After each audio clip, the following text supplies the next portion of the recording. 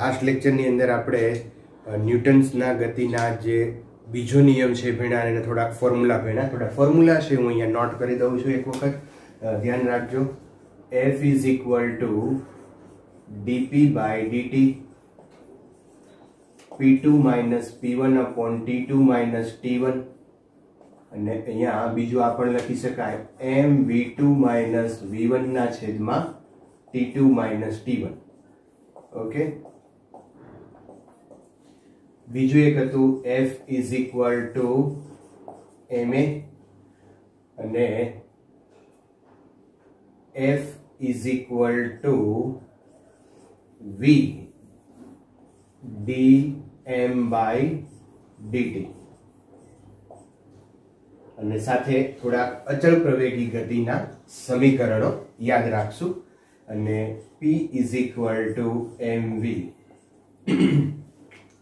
હવે આ જે પ્રોબ્લેમ સૂત્રો મેં લખ્યા છે, એને આધારિત થોડા પ્રોબ્લેમ લઈએ એટલે આપણી થિયરી છે એ વધારે ક્લિયર થાય.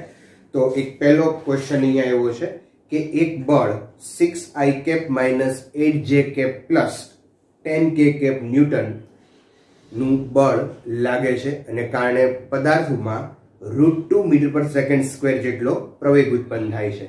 તો પદાર્થનું દળ શોધો?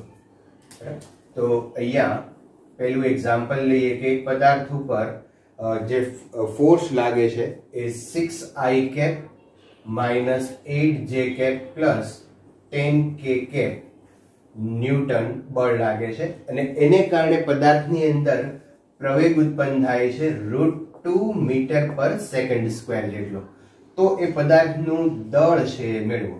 ઓકે તો સિમ્પલ ક્વેશ્ચન છે અહીંયા. પદાર્થનું દળ મેળવવું હોય તો આપણી પાસે ફોર્મ્યુલા છે F is equal to M A F is equal to M A but જે ફોર્સ છે, એ તો સદીશ છે, ત્રણે ત્રણ દિશામાં લાગે છે, તો આપણે શું કામ કરવું પડશે? પરિણામી ફોર્સ મેળવવો પડે. એટલે કે મૂલ્ય મેળવવું પડે. અહીંયા તો માસ. સીધું ફોર્મ્યુલા લખીએ આપણે. Mass M is equal to F upon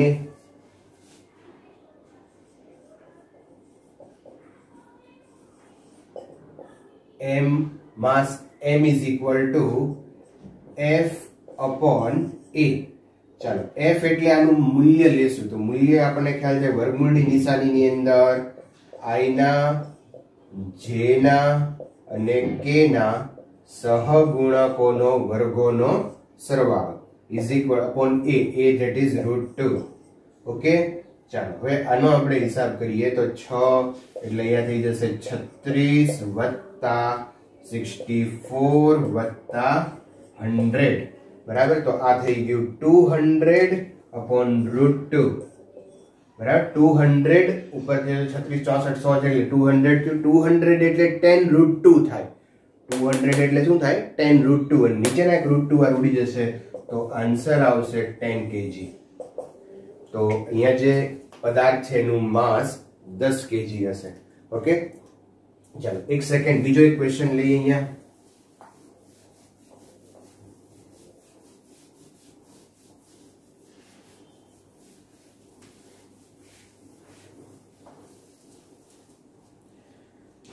બીજો જે ક્વેશ્ચન છે એમાં એક પાંચ કેજી નો બ્લોક ઘર્ષણ રહિત સપાટી પર સ્થિર છે અહીંયા કોઈ પાંચ કેજી નો બ્લોક છે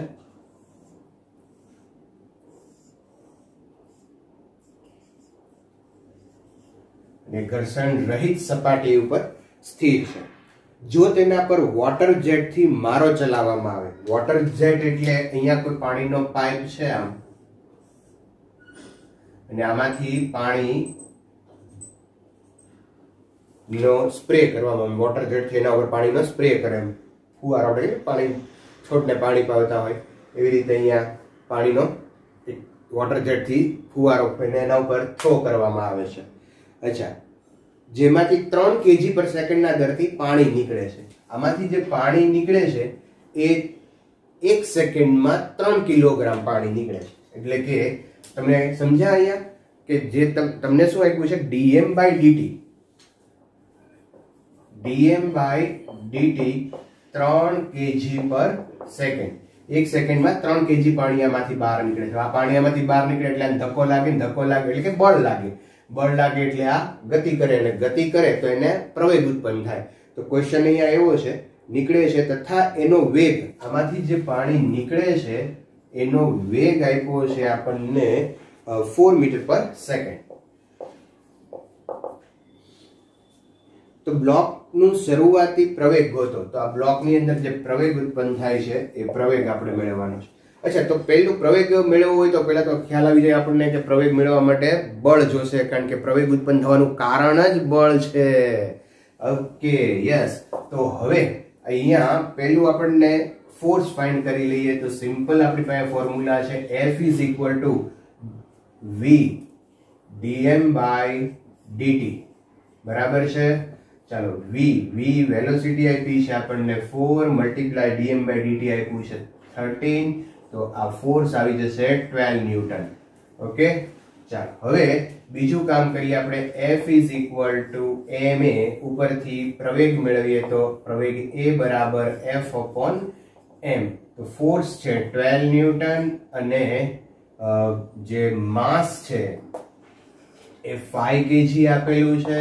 તો એ પાંચ દસ, બે વધશે પાંચ ચોક વીસ. બરાબર? મીટર પર સેકન્ડ સ્ક્વેર. ઓકે?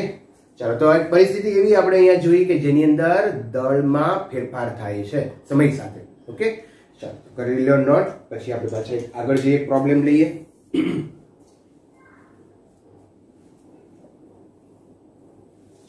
હજુ લઈ લઈએ કે એક બ્લોક કે જેનું દળ પાંચ કેજી છે તેની લીસી સપાટી ઉપર સ્થિર રાખેલો છે. અને એના ઉપર એક પચાસ ન્યૂટનનું બળ લાગે છે. કેવી રીતે બળ લાગે છે હું અહીં આકૃતિમાં બતાવું.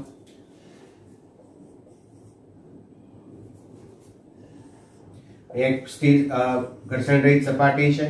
આ પાંચ કેજી નો બ્લોક છે અને આ બ્લોક પર અહીંયા આ ડિરેક્શનમાં ફોર્સ લાગે છે. અને આ એંગલ છે એ સિક્સટી ડિગ્રી છે. બરાબર? તો આ બ્લોકની અંદર જે પ્રવેગ ઉત્પન્ન થાય પ્રવેગ આપણે મેળવવાનો છે. ઓ, તો બહુ સિમ્પલ દાખલો છે અહીંયા, જુઓ તમે. હવે અહીંયા બળ છે એ કેવું લાગે છે? જો સમતલમાં છે બળ. બરાબર? બળ છે એ નથી પૂરેપૂરું એક્સ દિશામાં કે નથી વાય દિશામાં. સમતલમાં છે એટલે એના ઘટકો લેવા પડે. તો લઈ લઈએ આપણાના ઘટકો. આ ફોર્સ યાદ કરો યાદ કરો. થીટાની નજીકનો ઘટક કયો હોય? યસ કોસ થીટા તો આ ઘટક આવશે એફ કોસ થીટા અથવા તો એફ કોસ સિક્સટી અને થીટાની દૂરનો ઘટક કયો હોય? ઓહો, આ તો હોય સાઇન થીટા બરાબર ને? તો દૂરનો ઘટક સાઇન થીટા હશે નજીકનો ઘટક કોસ હોય. હવે વિચારજો કે આ બ્લોક છે એ તો સમજીતી સપાટી ઉપર જાય. હા, તો એને કોણ અસર કરતું હોય? F sine theta cos theta તો ક્યાં લાગે છે? ઉપર. બરાબર? આ પદાર્થ જો આમ ગતિ કરતો હોય તો એના ઉપર આ બળ અસરકારક છે. ઉપરથી લંબ દિશામાં લાગે છે એ બળ, આ બળ અસર કરશે નહીં. તો એફ સાઇન સિક્સટી ને કારણે બ્લોક છે એ ગતિ કરે છે. ઓકે નો પ્રોબ્લેમ તો અહીંયા આનો આપણે પ્રશ્ન એવું કીધું છે કે પ્રવેગ ગોતો. તો મેળવી લઈએ આનો પ્રવેગ આપણે. F is equal to M A સૂત્ર ઉપરથી પણ. એફ એટલે અહીંયા શું લેશો? એફ સાઇન સિક્સટી બરાબર ને? A is equal to A is equal to F sine sixty divided by M ચાલો. તો હવે મિત્રો અહીંયા આપણને ફોર્સ આપેલો છે ફિફ્ટી ન્યૂટન ફોર્સ આપેલો છે ફિફ્ટી ન્યૂટન સાઇન સિક્સટીની કિંમત થઈ જશે root three by two upon mass mass છે પાંચ. તો અહીંયાનો છે ઉડાડી દઈશું એટલે દસ અને અહીંયાથી ઉડાડી દે પાંચ. તો આન્સર આવશે ફાઈવ રૂટ થ્રી મીટર પર સેકન્ડ સ્ક્વેર તો પ્રવેગ મળી ગયો. તમે જો ત્રણે ત્રણ દાખલા જુદી જુદી રીતના લીધા. હજુ પણ આપણે થોડાક દાખલા લેવા છે અને એ દાખલા લેશું આપણે ટેક્સ બુકના તો ટેક્સ બુક તમારી પાસે હોય તો ખોલો અને ટેક્સબુકની બુક અંદરના પ્રોબ્લેમ લઈએ આપણે. ફાઈવ પોઈન્ટ ટુ બરાબર? આ નોટ કરી લ્યો. ચાલો રેડી તો five point two five point two ની અંદર કીધું છે ઝીરો પોઈન્ટ ઝીરો ચાર કેજી દળ ધરાવતી અને નેવું મીટર પર સેકન્ડની ઝડપથી ગતિ કરતી એક બુલેટ એક ભારે લાકડાના બ્લોકમાં પ્રવેશે છે અને સાઠ સેન્ટીમીટરનું અંતર કાપીને અટકી જાય છે. તો બ્લોક વડે બુલેટ પર સરેરાશ કેટલું અવરોધક બળ લાગ્યું હશે? અચ્છા. તો અહીંયા જુઓ કે તમને જે બુલેટ આપી છે ઉદાહરણ નંબર ફાઈવ પોઈન્ટ ટુ તો અહીંયા કોઈ લાકડાનો બ્લોક છે અને એ લાકડાના બ્લોકની અંદર આ બુલેટ ઘૂસી જાય છે અને અમુક અંતર કાપી અને પછી અટકી જાય અટકી જાય ને મિત્રો, ત્યારે એનો વેગ કેટલો હોય? જીરો હોય. બરાબર? આનું દળ આપણને આપેલું છે zero point zero four KG okay જ્યારે બુલેટ અંદર દાખલ થાય છે, ત્યારે એનો શરૂઆતનો વેગ આપ્યો છે ninety metre per second ninety metre per second નેવની ઝડપે જાય છે પછી ધીમું, ધીરો થઈ ગયો કારણ કારણ કે જ્યારે લાકડાના બ્લોકમાં એક ઘૂસશે, ત્યારે લાકડાના બ્લોકની અંદરના જે મટીરિયલ છે, એ મટીરિયલ એને અવરોધક બળ ઉત્પન્ન કરે. શું કામ કરે, કઈ રીતે કરી, બધી ચર્ચા કરશું પછી. પણ આને અવરોધ અહીંયા લગાડશે, કારણ કે માધ્યમમાંથી પસાર થાય છે અને માધ્યમને કારણે, અવરોધ બળને કારણે ધીમે ધીમે ધીમે ધીમે કરતા કરતા કરતા કરતા ઊભું રહી જશે. અને જ્યારે ઊભું રહી જાય છે, ત્યારે આપણને એવો પ્રશ્ન પૂછ્યો છે કે આ અવરોધક બળ કેટલું લાગે? ઓકે, બળ ગોતવું હોય તો શું ગોતવું પડે? પ્રવેગ ગોતવો પડે. પ્રવેગ ગોતવું હોય તો બળ ગોતવું પડે. બળ ગોતવું હોય તો બે ઉલટા ચત્તા છે ભાઈ. અચ્છા. તો મિત્રો, અહીંયા મારે પ્રવેગ ગોતવો પડશે. પ્રવેગ કેવી રીતે ગોતવું? તો કે અચળ પ્રવેગી ગતિના સમીકરણોને યાદ કરો. તો અહીંયા હું અચળ પ્રવેગી ગતિના સમીકરણો વાપરું. મિત્રો, અહીંયા તમારી પાસે પ્રારંભિક વેગ છે, અંતિમ વેગ છે, અને આ જે અહીંયા પ્રવેગ ઉત્પન્ન થાય છે, ત્યારે પ્રવેગ છે, એ પ્રવેગ આપણે કેલ્ક્યુલેટ કરવો છે. તો સમીકરણ વાપરશું આપણે. 2as is equal to v square minus u square. 2 પ્રવેગ કેવો હશે મિત્રો? માઇનસ અચ્છા, s અંતર કેટલું અંતર કાપીને રહી જાય છે? તો આપણને રકમમાં આપેલું છે 60 સેન્ટીમીટર તો સેન્ટીમીટર ને મીટરમાં કન્વર્ટ કરો. V, અંતિમ વેગ એનો 0 પ્રારંભિક વેગ એનો આપ્યો છે કેટલો? 90 મીટર પર સેકન્ડ. ઓકે? ચાલો. તો હવે અહીંયા એ ને આપણે સૂત્રનો કરતા બનાવીએ તો A is equal to minus minus cancel થઈ જશે. બરાબર છે? તો અહીંયા નેવ મલ્ટીપ્લાય નેવ divide by two divide by sixty divide by minus two ઓહો બરાબર છે ને? જીરો ગયો જીરો ગયો. અહીંયા આ થઈ જશે ફોર્ટી ફાઈવ બરાબર? અને અહીંયા તમે લઈ લો થ્રી અને અહીંયા આવી જશે થ્રી ત્રણ ત્રી નવ, ત્રણ દુ છ, અહીંયા ટુ આવી જશે, બરાબર? પિસ્તાલીસ ગુણ્યા ત્રણ, એટલે થઈ જશે ચાર ત્રી બાર, એકસો વીસ એકસો વીસ ને એકસો ત્રીસ ને એકસો પાંત્રીસ ભાગ્યા બે. એકસો પાંત્રીસ ભાગ્યા બે, અને આને તમે ઉપર લઈ લો એટલે પ્લસ ટુ તો આવી ગયો પ્રવેગ. તમારી રીતે તમે આનું સદરૂપ આપી શકો છો, કોઈ પ્રોબ્લેમ નથી મિત્રો અહીંયા. બરાબર છે? અચ્છા, હવે શું કામ કરવાનું છે તમારે? F is equal to M A force ગોતવાનો છે. ઓકે માસ એનું કેટલું આપ્યું છે? ઝીરો પોઈન્ટ ઝીરો ચાર. અને અહીંયા તમે આનું સાદરૂપ આપશો. અચ્છા, પ્રવેગ કેવો હશે? માઇનસ હશે ને? હા. તો અહીંયા થઈ જશે જો આ પાંત્રીસ એટલે sixty seven point five multiply two છે એટલે અહીંયા આમ કરી નાખીએ ઓકે આનું તમે સાદરૂપ આપો સિક્સ સેવન ફાઈવ જીરો થઈ જશે ને, મીટર પર સેકન્ડ સ્ક્વેર ઓહો, કેટલો પ્રવેગ છે જુઓ તમે. અને આ કેવું આવશે? માઇનસ શું કામ? કારણ કે પ્રવેગ આપણે માઇનસ લીધો છે. પ્રતિ પ્રવેગી ગતિ થાય છે એટલા માટે.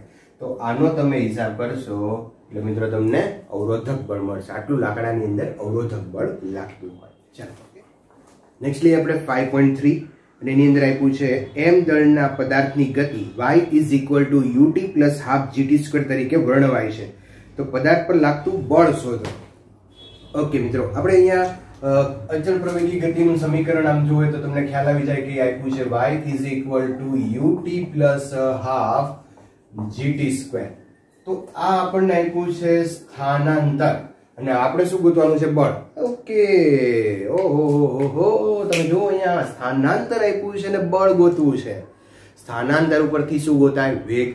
વેગ ઉપરથી પ્રવેગ. અને જો પ્રવેગ એકવાર મળી જાય, તો પછી બળ મળવામાં વાર લાગશે નહીં, કારણ કે F is equal to M A okay okay okay okay.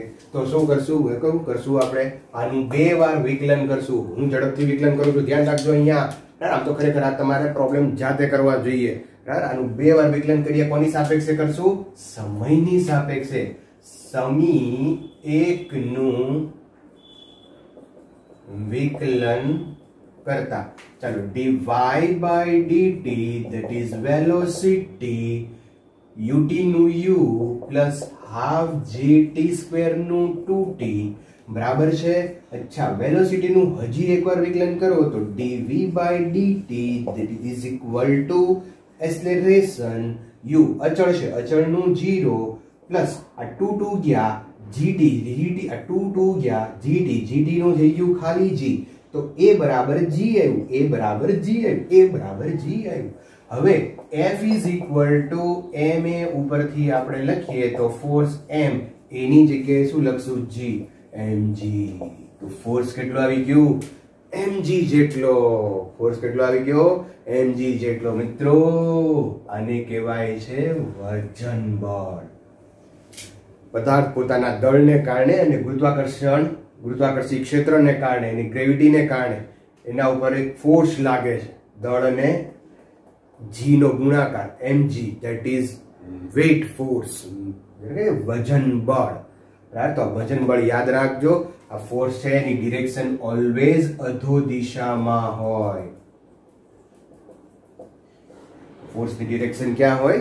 Always downward ડિરેક્શનમાં અધો દિશામાં હોય. ઓકે તો વેગમાનની આટલી ચર્ચા કરી. હવે નેક્સ્ટ લેક્ચરની અંદર આપણે જોશું ન્યૂટનના ત્રીજો નિયમ એનએલએમ થર્ડ લો અને એક બહુ જ અગત્યનો એક પેરામીટર્સ અથવા તો આપણે ફિઝિકલ ક્વોન્ટિટી ભૌતિક રાશિ ભણવાની છે બળનો આઘાત નેક્સ્ટ લેક્ચરમાં આપણે એની ચર્ચા કરીએ.